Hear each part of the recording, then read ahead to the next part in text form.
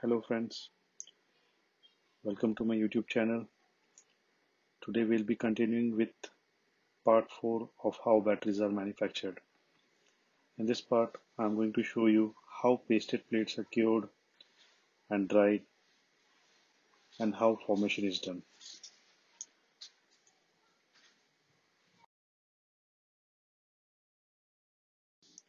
In this video, you can see a drying oven in which the pasted plates are kept. The machine helps in achieving the humidity and temperature which reduces the time of curing. Hence the plates can be used a bit earlier than keeping in a traditional way in a dark room covered with uh, wet cloths or gunny bags for around 5 to 7 days.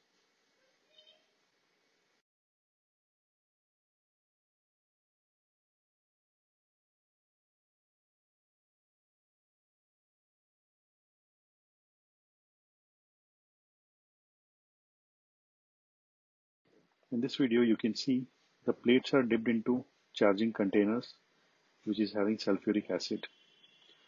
The plates are connected with the help of lead strips, and these lead strips are then connected by welding them to their false leg.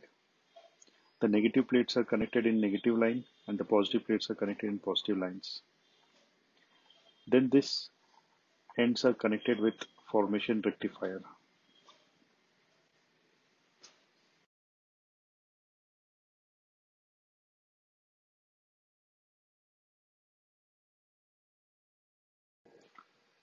In this video, the welded plates are connected in series and the plates are pre-charged, in other term known as formation, by using a formation rectifier.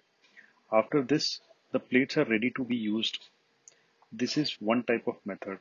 The second type of method is green plate charging. This is done by using a green plate charger, which has both charging and discharging capabilities that we'll discuss in my later videos.